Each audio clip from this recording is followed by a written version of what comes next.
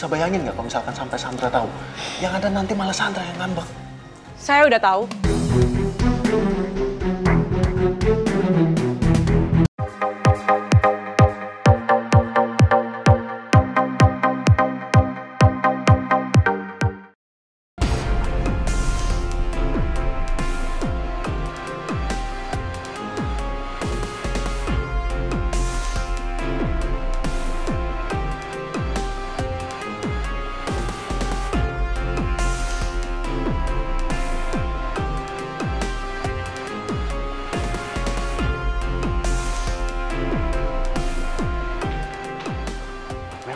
Hai Ram, kamu ngapain ke restoran?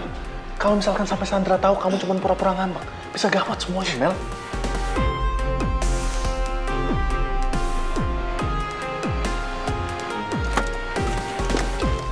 Resto lagi rame sekarang. Datang lebih awal lebih baik.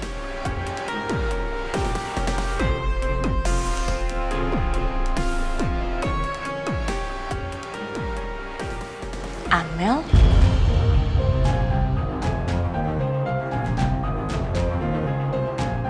Kok dia ada di sini?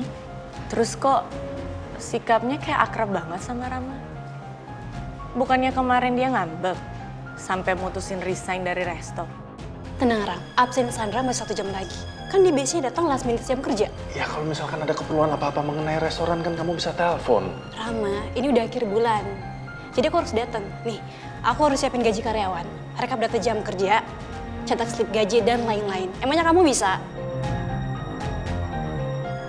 Mel, semua itu kan bisa dikerjain di rumah, ya nggak? Kamu tinggal kerjain di rumah semuanya, habis itu kamu cetak, kamu kirim lewat kurir. Kan datanya ada di kantor. Udah ya kamu tenang aja, ya. Karena Sandra nggak akan tahu kalau aku datang ke kantor.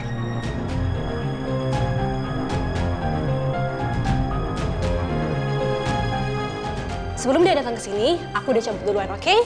Mel, saya tuh bener-bener takut kalau misalkan Sandra sampai tahu kamu itu cuma pura-pura ngambek. Bisa bayangin nggak kalau misalkan sampai Sandra tahu? Yang ada nanti malah Sandra yang ngambek. Saya udah tahu.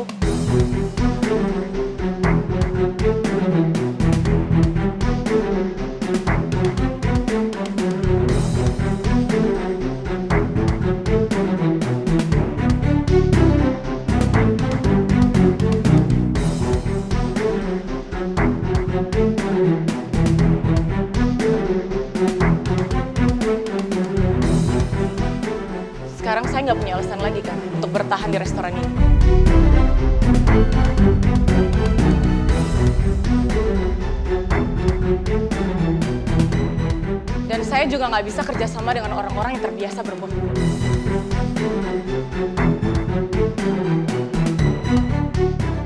Saya resign dari Fine Cafe untuk selamanya.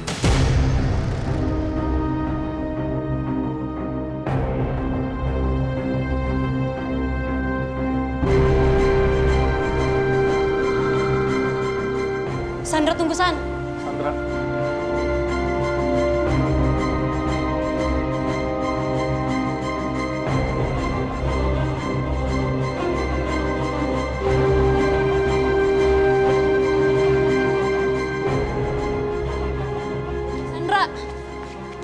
San tunggu San, San dengerin gue dulu.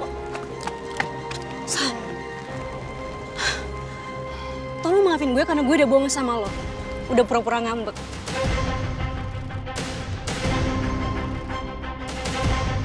Lo sama Rama sama aja.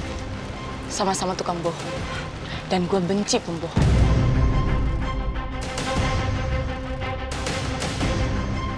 Gue terpaksa, San. Terpaksa pura-pura bohong, pura-pura ngambek, karena udah gak ada cara lain biar lo mau balik kerja di resto ini. San, Shetino kecelakaan. Kita gak ada siapa utama. Resto kelabakan.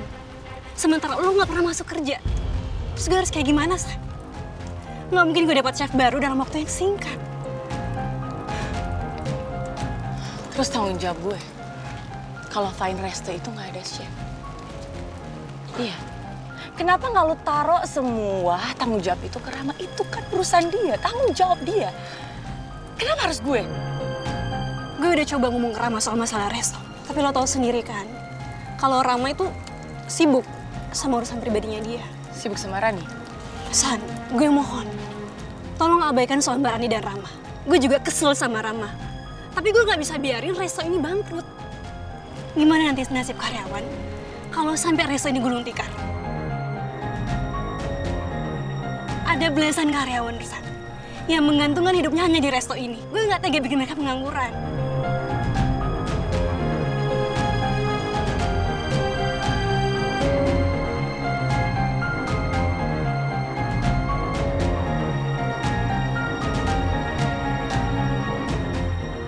Kita semua di sini kayak keluarga, Sandra. Semua karyawan udah ngerasa resto ini punya mereka. Toleransi mereka tinggi buat resto ini.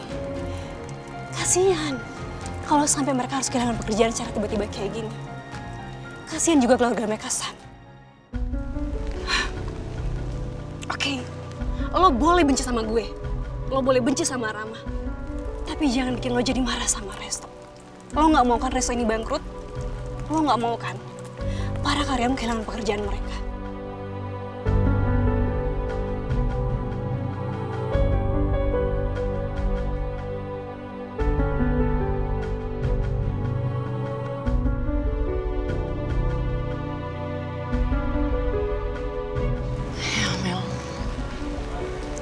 Gue minta maaf ya.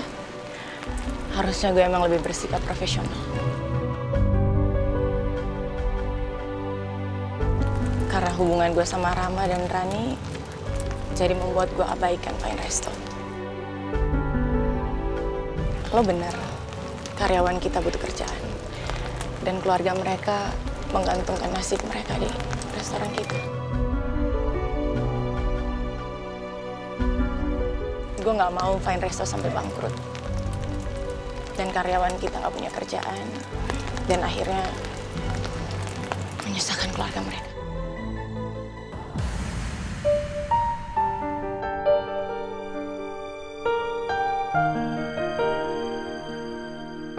Gue tahu lo orang baik.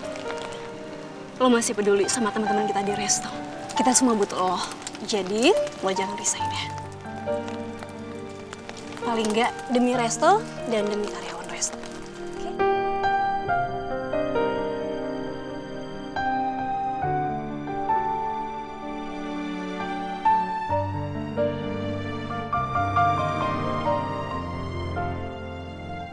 Sandra memang perempuan yang baik. Aku nggak salah pilih dia untuk jadi pendampingku. Aku ingin segera memperbaiki hubunganku sama Sandra.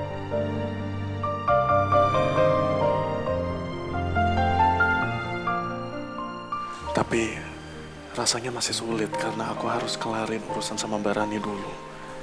Dan aku masih punya hutang ke Mas Edwin untuk menemukan anaknya dan menjaga anaknya.